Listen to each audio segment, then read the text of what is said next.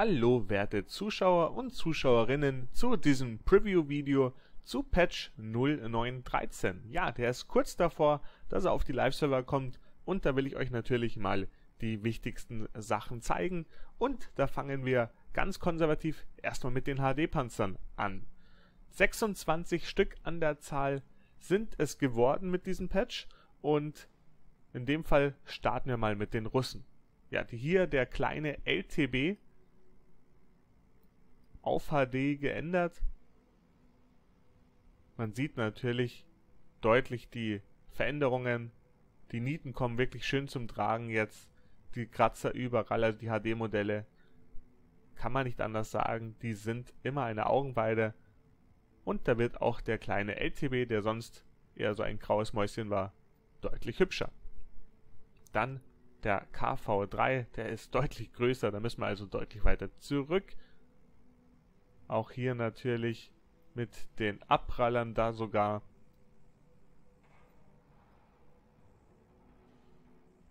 Deutlich schöner als bisher.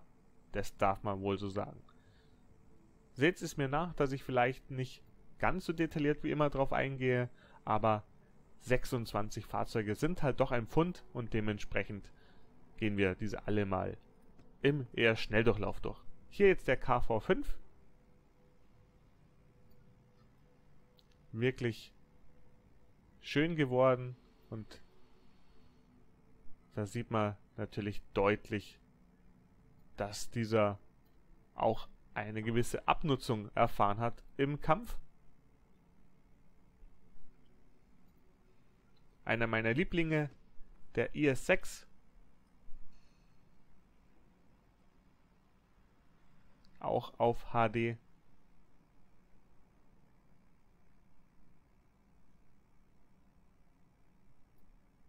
Ein wunderbarer Panzer, den ich selber sehr, sehr schätze.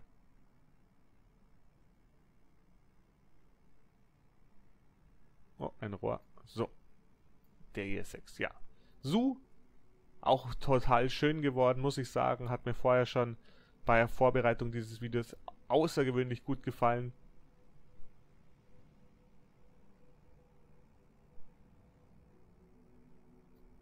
Haben sie wirklich fein angepasst.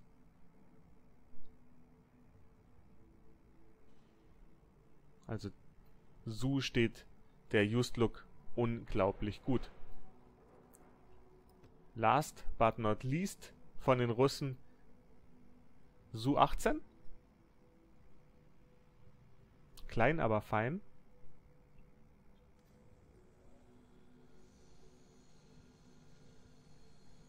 Und dann kommen wir schon zum einzigsten deutschen HD-Panzer, der verändert wird mit 0913 und zwar den Panzerkampfwagen 2 Lux.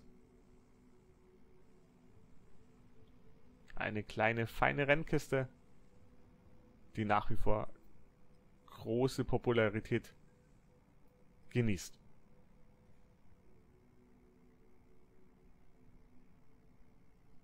Und da müssen wir auch schon direkt Tschüss zu den Deutschen sagen und gehen mit den USA weiter. Den T54E1 dem Autoloader. Auch hier natürlich die Abnutzung bestens zu sehen. Auch hier vorne die Abpraller, der Turm komplett. Also der ist auch extrem gut überarbeitet worden, wie ich finde.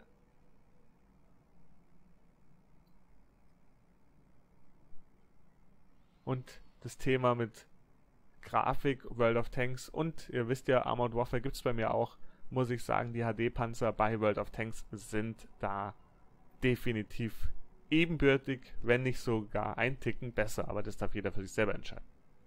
Hier der T29. Auch hier so mit so einer kleinen Delle dann nochmal drin.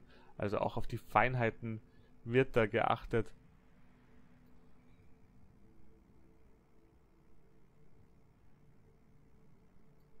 Auch hier nochmal im Turm ein bisschen alles besser zur Geltung kommend. Sehr, sehr schön. T30 hier zu sehen. Gerade auch mit den Spuren da oben machen die Designer schon wirklich einen sehr guten Job.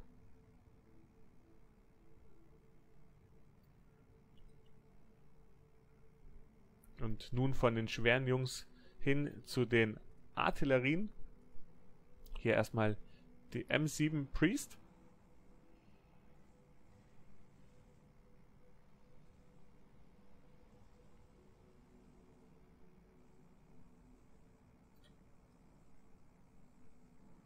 Auch mal ein Blick hier rein. Auch da wird immer ein bisschen noch designt. Auch wenn man es sonst so nicht sieht, aber trotzdem mal schön, wenn man es dann hier in der Garage ein bisschen angucken kann. Dann die M44, Tier 6 Arti.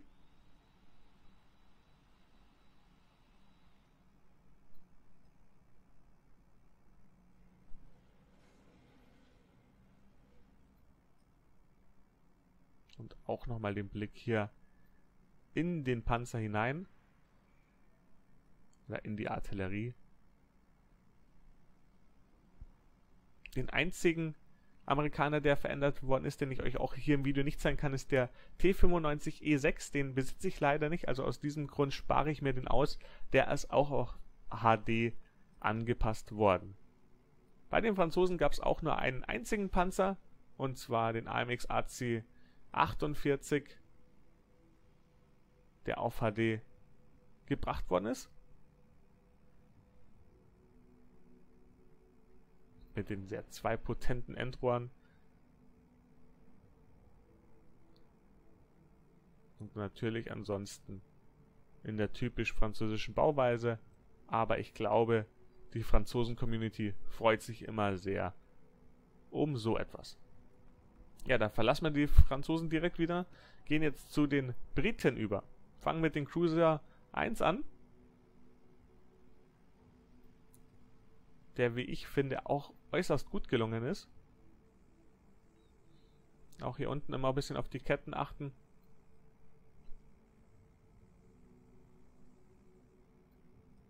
Sehr, sehr schön.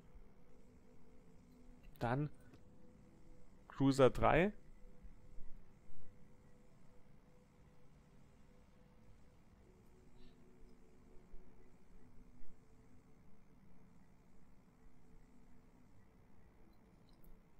Hier in dem Fall sind viele Cruiser betroffen. Geht auch weiter mit dem Cruiser 2.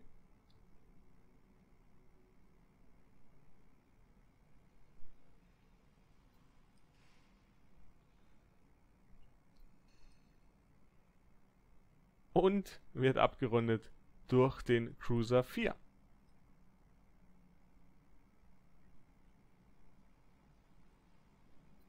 Wenn ich da vorne die Leuchte so sehe, Schade, dass es noch keine Nachtgefechte gibt in der Form, dass man einfach mal schnell das Licht einschalten könnte. Wäre bestimmt lustig. Gut, weiter geht's mit dem sehr oft und von vielen gespielten Kometen. Der Komet ist ja wirklich einer der Panzer, der sehr, sehr häufig vorkommt in den Gefechten und sich sehr großer Beliebtheit erfreut.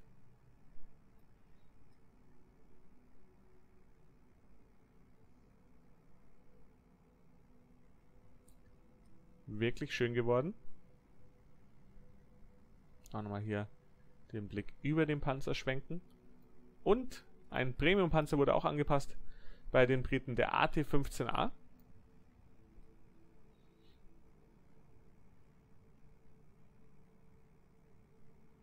Dieses nicht unbedingt wendige Gerät, das aber sonst doch dem ein oder anderen Gegner die Haare zu Bergen stehen lässt.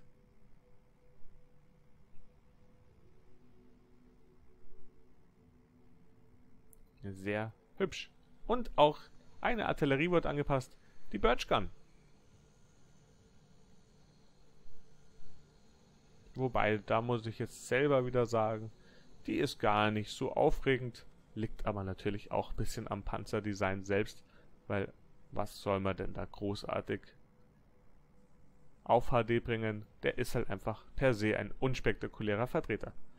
So, dann hier der Chiha.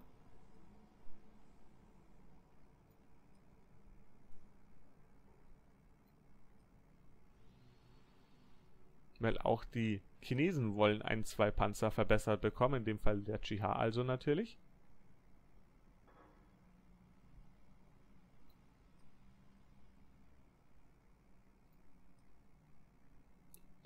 So, ich glaube, wir haben ihm genug Zeit und Raum gegeben zum Wirken lassen. Gehen auf den WZ 131. Dieser Scout wiederum auch sehr gern genommen und sehr gern gespielt von einigen. Schaut aber von Design her jetzt gar nicht so benutzt aus wie viele andere HD-Panzer. Also der schaut so aus, als ob er gerade recht frisch aus der Fabrik käme. Und die letzten beiden HD-Panzer, die ich euch hier im Video zeigen will, ist der japanische Typ 95 Cargo.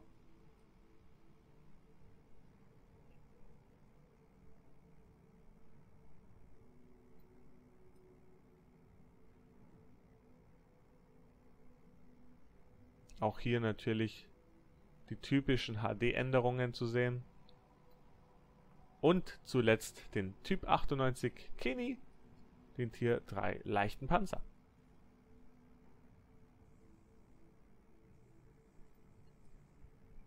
Und das war's für die HD-Panzer. Damit sind wir dann durch. Aber die wichtigsten Änderungen kommen jetzt eigentlich, weil es gibt eine neue Nation und zwar die Tschechoslowakei. Und diese Panzer schauen wir uns auch alle an. Hier ist der Tier 1 Standardpanzer und da müsst ihr mir jetzt mit den Namen des nachsehen, ob ich sie richtig ausspreche, weiß ich nicht. In dem Fall Kulu Husenka. Kulu Husenka könnte richtig sein. Schaut aus wie ein Kühlschrank auf Rädern. Also schön ist anders, aber vielleicht war das ja sehr zweckmäßig. Immer die Ausstattungen, die ihr hier seht, sind die Elite-Ausführungen. Also ich habe die alle auf Elite-Status gebracht. Und wir können uns hier aber auch den Tech Tree ansehen. Wir sehen, im Prinzip muss man nicht viel erforschen. Eine Kanone und dann geht's direkt weiter. Bevor wir uns den Panzer anschauen, schauen wir uns hier den, den Tech Tree auch da nochmal an. Es gibt Ketten. Ich gehe über die einfach mal mit der Maus, dann könnt ihr die Purchase und die Research Kosten auch ebenfalls sehen. Dann einen Motor, den ihr noch erforschen müsstet. Einen weiteren Turm. Und natürlich dann die Kanone. Hier, so sieht er aus. In dem Fall 180 Hitpoints hat er. 135 PS. Die Endgeschwindigkeit von diesem leichten Panzer sind 35 km/h und dreht sich mit 45 Grad pro Sekunde. Die Panzerung mit 25, 16, 16 sowohl an Wanne als auch an Turm exakt gleich. Die Feuerrate sind 23,808 Schuss pro Minute und die Turmdrehgeschwindigkeit 30 Grad. Und hier sehen wir die verbesserte Kanone. Der Durchschlag 52 mit Normal, 74 mit Premium macht dabei 40 Schaden und schießt eben recht schnell, sodass er auf seine Schadenswerte kommt. Der Tier 3 LTVZ 38 hat 220 Hitpoints schon, 140 PS, 42 km Topgeschwindigkeit, 38 Grad Drehgeschwindigkeit der Wanne die Wannenpanzerung hat 25, 15 und 15. Am Turm sind es 50, 30 und 25, also hier sind sie dann nicht mehr identisch. Und schießt 25,71 Schuss pro Minute bei 330 Sichtweite und 345 Grad Funkreichweite. Hier seht ihr in dem Fall die Top-Kanone ist eine Autoloader-Kanone hat drei Schüsse im Magazin. Die Schüsse während dem Magazin brauchen eine Sekunde zum Durchladen und das Magazin selber braucht 5 Sekunden. Durchschlag sind 82 mit Normal, 115 mit Premium und der Schaden beträgt 40 bzw. 45 mit HE. Die Zielzeit 1,7 Sekunden. Auch hier in den Tech Tree geschaut. Zack, da sind wir. Ne, da sind wir. Wie gesagt, auch hier, ich gehe mal über die Werte, über die wichtigsten Werte drüber, weil das ist ja das, was euch dann auch interessiert. Was kostet was? aber seht es mir nach, dass ich nicht jeden Wert einzeln der Vorstufen abgehe. Der STVZ 39 hat hier die Ketten zu erforschen, dann zwei Motoren, hier der Topmotor, da das Funkgerät und eine Stufe 4 Kanone, die dann gleichzeitig die Top-Ausführung darstellt und muss noch einen Turm erforscht bekommen. Schaut dann wie folgt aus. Das ist er, hat 350 Hitpoints, 260 PS, 45 km/h Endgeschwindigkeit. Hier, das ist ein mittlerer Panzer, da muss man drauf aufpassen. Da wir sind jetzt nämlich von den leichten Panzern weg. Haben 32, 25, 20 Wannenpanzerung und 60, 40, 30 Turmpanzerung. Feuerrate 24 Schuss pro Minute. Sichtweite 340 sowie Funkreichweite 345 Meter. Die Kanone ist dann diese hier. Ihr seht eben eine sehr schnelle Nachladezeit.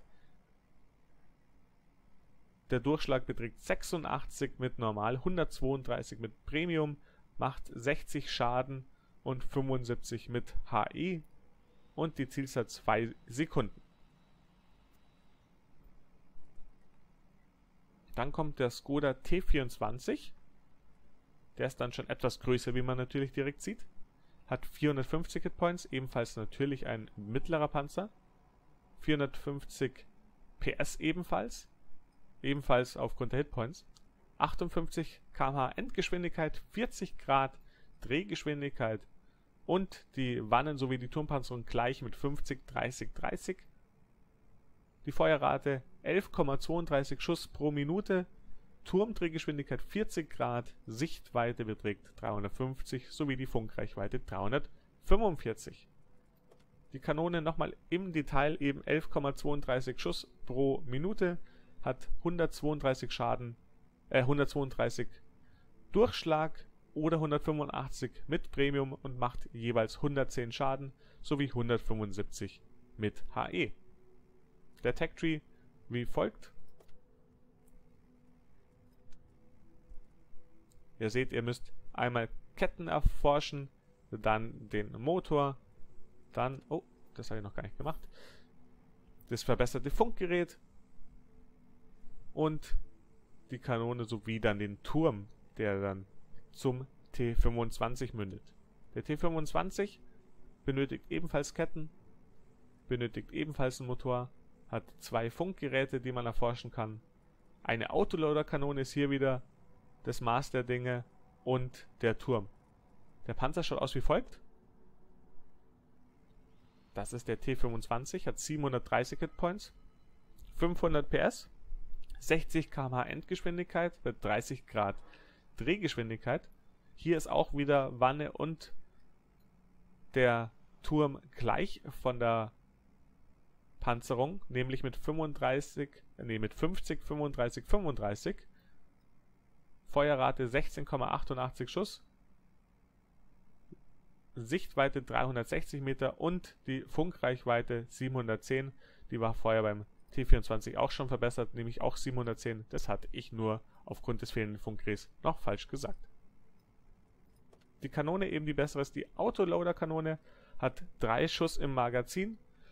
Zwischen den Schüssen liegen 1,33 Sekunden Nachladezeit bzw. Ja, Einlegzeit 8 Schuss braucht man für das Magazin dann komplett zu befüllen. Die Durchschlag oder der Durchschlag sind 132 und 185 mit Premium. Der Schaden hier ebenfalls 110, 110 und 175 mit HI. Und die Zielzeit 2,1 Sekunde.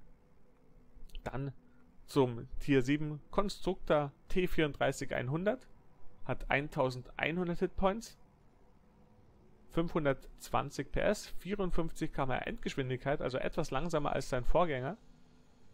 Dafür die Panzerung hier wieder differierend. Die Wannenpanzerung sind 45, 45, 45. Die Turmpanzerung ist dafür etwas besser mit 90, 75, 52. Die Feuerrate hier 7,06. Die Sichtweite 370 Meter und die Funkreichweite 380. Und hier sehen wir, man braucht Ketten, die man erforschen muss. Man hat einen Motor, der auch ebenfalls Erforschungsbedarf hat. Das Funkgerät. Dann gibt es diese Kanone, die wir schon gesehen haben. Da gehen wir aber auch eben praktisch nochmal auf die Charaktere hier ein. 7,06, 175 Durchschlag mit Normal, 250 mit Premium und der Schaden beträgt 250 bzw. 330 mit HE. Und ein Turm muss auch erforscht werden. Nun kommen wir langsam zum High-Tier und in dem Fall der Tier 8 TVP VTU.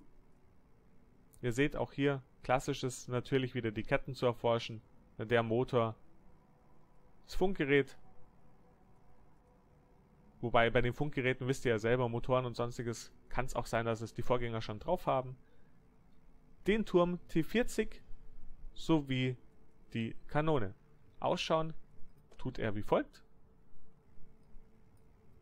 Hat 1450 Hitpoints, 700 PS, bedeutet eine Endgeschwindigkeit von 50 km/h, 44 Grad Drehgeschwindigkeit, die Panzerungswerte fast identisch von Wanne sowie Turm mit 65, 40, die Wanne dann 30 hinten, der Turm 40 hinten, also da ist der Turm etwas verbessert. Sichtweite 380 und Funkweite 850 Meter. Die Kanone ist hier die beste, hat dann eben 5,45 Schuss pro Minute, 188 Durchschlag mit Normal, 235 mit Premium, macht dann 320 Schaden. Nun zum Skoda T50,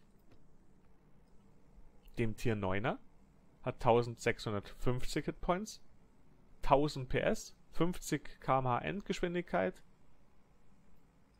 Die Drehgeschwindigkeit der Wanne sind 42 Grad. Die Wannenpanzerung 65, 40 und 40, also auch da wieder sehr reduziert in der Panzerung. Der Turm etwas verbessert mit 120, 80 und 60. Die Feuerrate sind 7 Schuss pro Minute, knapp darüber mit 7,03 die Sichtweite 400 Meter und die Funkreichweite 850. Der Tech Tree sieht bei dem wie folgt aus.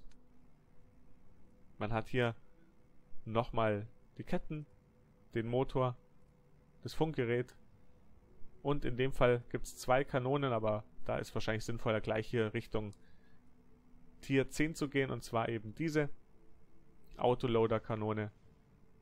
Drei Schuss im Magazin, 1,8 dann zwischen den Schüssen. Die Nachladezeit beträgt in Summe 22 Sekunden. 248 ist der Durchschlag mit normal, 310 mit Premium. 320 Schaden machen die beiden normalen Munitionsarten sowie Premium und HE mit 420. Und nun kommen wir auch schon zum heiß erwarteten Top-Tier, dem TVP T5051. Und ihr seht, hier muss nichts mehr erforscht werden. Den schauen wir uns natürlich auch im Detail an. Sieht wie folgt aus gefühlt sogar unspektakulär. Hat 1800 Hitpoints, 1000 PS, 60 km/h Endgeschwindigkeit. Die Wannenpanzerung 65, 40 und 30. Die Turmpanzerung 120, 80 und 60. 8,14 Schuss pro Minute. Sichtweite 410 Meter sowie Funkreichweite 850 Meter. Auch hier kommt wieder eine Autoloader-Kanone zum Tragen in dem Fall hat sie vier Schuss im Magazin. Dazwischen liegen nur 1,5 Sekunden. Und wenn das Magazin leer ist, sind es 25 Sekunden, bis komplett nachgeladen ist.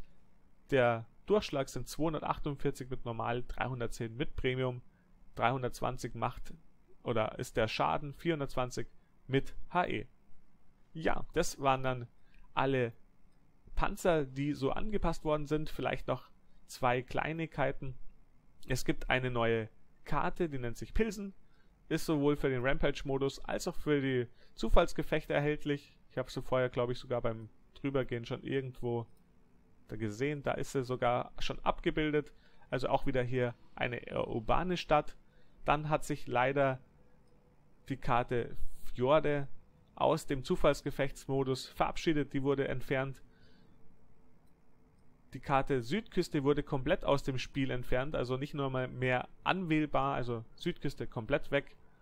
Und damit sind alle wichtigen Sachen angesprochen worden. Ja, etwas länger und ausführlicher vielleicht als sonst, aber ihr seht, ein kompletter Tech Tree, sehr viele HD-Panzer.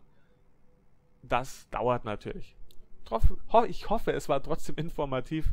Ihr lasst mir einen Daumen da. Ich wünsche euch alles Gute. Euer Alcaramba.